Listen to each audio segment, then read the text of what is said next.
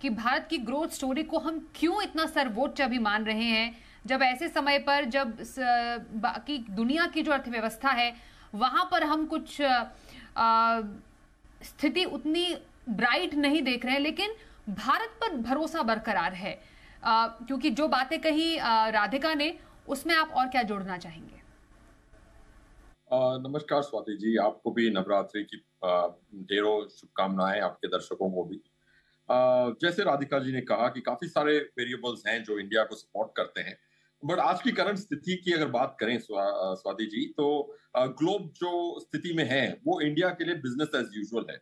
दो हज़ार जून 2022 जून से जो इंटरेस्ट रेट्स बढ़े हैं और इन्फ्लेशन जो बढ़ी है ग्लोबल इन्फ्लेशन जो बढ़ी है बहुत सारी कंट्रीज़ के लिए एक बहुत बड़ा शॉक हुआ है। ऑलमोस्ट uh, uh, जो टेन ईयर फेड रेट है वो सत्रह साल के हाई पे है। अगस्त uh, 2007 में ये uh, ये लेवल्स देखे गए थे। Five percent on thirty year fed rate बहुत बड़ी बात होती है। वो उसको भी सोलह सत्रह साल के पीक पे माना जाएगा। बट अगर हम इंडिया की इंटरेस्ट रेट्स की बात करें टेन ईयर आरबीआई बॉन्ड की बात करें या गवर्नमेंट ऑफ़ इंडिया की बात करें uh, तो 7.3 uh, का uh, आज की करंट उस उस रेंज में है। टेन ईयर की एवरेज 6.8 तो ज़्यादा फ़र्क नहीं है। इन्फ्लेशन का नंबर देखें ऑफ़ कोर्स इन्फ्लेशन थोड़ा कूल ऑफ़ हुआ है और कूल ऑफ़ होने की अंदेशा है मानसून के अच्छे हार्वेस्ट के बाद होपफुली बट हमारा जो इन्फ्लेशन रहा है लास्ट टेन ईयर्स की, उसकी भी एवरेज ऑलमोस्ट 6.4 6.5 रही है. तो इन्फ्लेशन और इंटरेस्ट रेट जो जो ग्लोबली फाइट कर रही हैं दूसरी इकोनॉमीज इंडिया के लिए बिज़नेस एज यूजुअल है. यूएस का जो टेन ईयर रेट रहा है ऑलमोस्ट 2.1 2.2 की एवरेज रही है लास्ट एट नाइन ईयर्स की.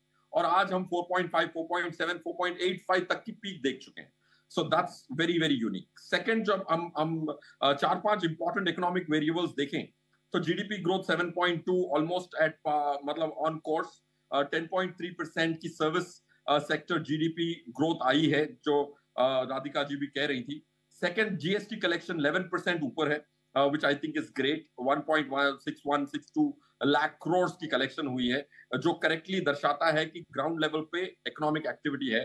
थर्ड फ़िज़िकल डेफिसिट हम uh, इस बार सिर्फ़ 36 परसेंट पेनिट्रेट किए हैं हमारे फ़िज़िकल टारगेट को। uh, इस uh, इस टाइम तक हम ऑलमोस्ट 60 परसेंट पेनिट्रेट कर चुके होते हैं लास्ट 20 ईयर की एवरेज है। तो फ़िज़िकल प्रूडेंस आप आईआईपी का डेटा देखें तो पूरे वेरिएबल्स ऑल्सो लिक्विडिटी अगर आप देखें तो F I became positive domestic liquidity देखें आप एसआईपी के आंकड़े देखें पोस्ट लमसम के एग्जिट के भी सिक्सटी थाउज़ेंड करोड़ आए तो ये पाँच वेरिएबल्स को देख के हमें ये विश्वास है कि ये बात नहीं है but I think economic activity की वजह से और मैक्रो इकोनॉमिक वेरिएबल्स काफ़ी कंड्यूसिव हैं कॉर्पोरेट एनवायरमेंट के। हम्म। और यहाँ पर अगर हम भारत में निवेश के मौकों की बात करें रोज,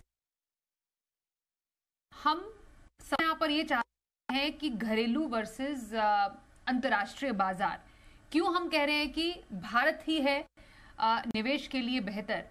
अगर हम देखते हैं यूएस ट्रेजरी यील्ड फ़िलहाल एट ऑल टाइम हाई या डॉलर स्ट्रेंथनिंग डॉलर इन्वेस्टिंग उसके मुकाबले भारत को हम निवेश के मौके पर इतना पसंदीदा क्यों मान सकते हैं? आई थिंक स्वाति जी अगर हम देखें कि इकोनॉमिक ग्रोथ पे ही आधारित होती है कॉर्पोरेट uh, की अर्निंग्स की ग्रोथ अगर इकोनॉमी सेवन एट परसेंट पे ग्रो होती है अगले पाँच, दस साल के लिए, और जीडीपी अगर अगर इन्फ्लेशन को जोड़ा जाए नॉमिनल रेट पे इलेवन ट्वेल्व परसेंट पे ग्रो हो रही है तो निफ्टी की जो अर्निंग्स हैं, वो लॉन्ग टर्म में इसको ट्रैक ज़रूर करती हैं। फाइव ईयर रोलिंग का डेटा हमने एनालाइज किया। तो अगर निफ्टी 10-12 परसेंट कॉम्पाउंडेड बढ़ सकती है, और एक्टिव फंड्स तीन, चार परसेंट का अल्फ़ा भी दे सकते हैं निफ्टी पे स्मॉल कैप मिड कैप की कॉम्बिनेशन के साथ तो अगर आप अपने पैसे को तेरह से पंद्रह परसेंट ग्रो कर सकते हैं तो पाँच सालों में वो दुगना होता है पंद्रह परसेंट पे, और दस सालों में चार गुना होता है। तो आपकी इक्विटी पोर्शन अगर चार गुना हो सकती है, आपकी डेट पोर्शन दुगनी हो सकती है तो टोटल मिला के आप अपने ओवरऑल पैसे को तीन गुना बढ़ा सकते हैं दस साल में। माना कि डॉलर एप्रिसिएशन की गुंजाइश होती है but I think interest rate का जो डिफरेंशियल है इंडिया और यूएस में वो काफ़ी कम हुआ है। तो डॉलर डेप्रिसिएशन लॉन्ग टर्म में जो 2.51 परसेंट की 15 साल की एवरेज है, अगले 10 साल के लिए हमारे हिसाब से दो से सवा दो परसेंट की डॉलर एप्रिसिएशन हो सकती है। उसका प्रोविज़न ज़रूर करना चाहिए। फिर भी अगर आपको 11-12 परसेंट का डॉलर रिटर्न इक्विटी से मिल सकता है और डेट से पाँच परसेंट का डॉलर रिटर्न मिल सकता है तो double digit dollar return approximately आप पहुँच सकते हैं लॉन्ग टर्म में इंडिया में रहे। तो ग्लोबल इन्वेस्टिंग की जो रिस्क हैं, वो काफ़ी बड़ी हैं। आज अगर हम देखते हैं तो एक साल में जो रियलाइज़ रिस्क है रियलाइज़ वॉलिटिलिटी है S and P five hundred की निफ्टी से ज़्यादा है। ये काफ़ी शॉकिंग बात है कि S and P five hundred की स्टैंडर्ड डिविएशन और रियलाइज़ वॉलिटिलिटी जिसको डेरिवेटिव लिंगो में कहते हैं, वो ज़्यादा है। सो पॉइंट इज़ अगर आपको कम रिस्क में, अगर आपको dollar return nine ten percent की मिल सकती है तो इंडिया में ही क्यों ना रहे और उसका फ़ायदा क्यों ना उठाए? फिरोज, आपके नज़र में कौन से सेक्टर्स में अभी मौके हैं? और सबसे इम्पोर्टेंट बहुत इवेंटफुल ये साल रहा है और आने वाले एक दो साल उससे भी ज़्यादा इवेंटफुल रहने वाले हैं। बाज़ार पर कैसा असर एक्सपेक्ट कर सकते हैं? यस रहा सवाल सेक्टर का I think I completely concur with Radhika ji that काफ़ी सारे सेक्टर्स हैं जो लॉन्ग टर्म के लिए ग्रोथ सपोर्ट करेंगे। बट अगर आप सेक्टर इन्वेस्टिंग कर रहे हैं तो बहुत शॉर्ट टर्म सेक्टर मूवमेंट्स होती हैं। फॉर एग्ज़ाम्पल तीन चार महीने पहले आप के साथ जब बात हो रही थी आईटी एक सेक्टर था। बट अब ऑलरेडी आईटी सेक्टर ने 11 परसेंट की आउट परफॉर्मेंस दे दी थी। फिर रिज़ल्ट अच्छे नहीं आए।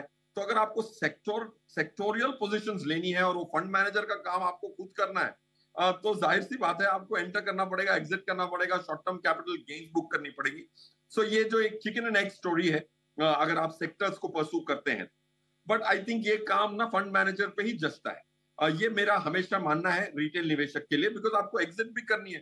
तीन महीने में सही चले गए तो एग्जिट करनी है। अगर सही नहीं गए तो दो साल वेट करना है। तो वो बहुत फ्लूड होता है आपका exit period so that's point अगर आप लॉन्ग टर्म में देखें तो मेरे हिसाब से फार्मास्यूटिकल एक सेक्टर है इंडिया के लिए, जो स्टैंड आउट कर सकता है। लॉन्ग टर्म में दो तीन परसेंट चार परसेंट की निफ्टी से अल्फ़ा जनरेट करने की क्षमता रखता है। वो क्यों और हमारा क्यों विश्वास है उस पर नहीं जाऊँगा but that's one sector but रहा सवाल आ, कौन सी इन्वेस्टमेंट्स हैं? आज आप देखें कि अगर आप केयरफुली अपने तीन एक्टिव फंड्स में से अगर डिवर्सिफाइड स्कीम्स भी 200 मानू तो बेहतरीन से बेहतरीन और खराब से खराब स्कीम में 30 परसेंट का अंतर होता है साल दर साल का।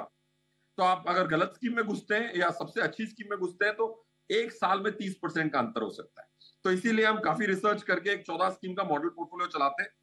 वो मैं तो अपने पूरे पैसे उसी मात्रा में चौदह स्कीम्स में डालता हूँ ताकि वो तीन चार परसेंट की अल्फ़ा आ सके। अगर कोई निफ्टी को तीन परसेंट दस साल के लिए बीट कर लेता है, ना कि निफ्टी के बारह बट आपका पोर्टफोलियो पंद्रह जनरेट करता है तो आपके सौ रुपए, तीन सौ रुपए ना होके दस सालों में सौ रुपए, चार सौ रुपए हो जाते हैं। ये सुनने को तीन परसेंट का जो अल्फ़ा है निफ्टी पे, बड़ा छोटा सा लगता है। बट वो जब वो कॉम्पाउंड होता है, आपके असल जितने की मात्रा का अल्फ़ा आ सकता है रूपी वैल्यू में दस सालों में। तो मेरा तो ये मानना है कि एक्टिव फंड्स खरीदें। बारीकी से अगर आप चुन पाए तो तीन परसेंट निफ्टी पे अल्फ़ा जनरेट करना is not gonna be an outrageous task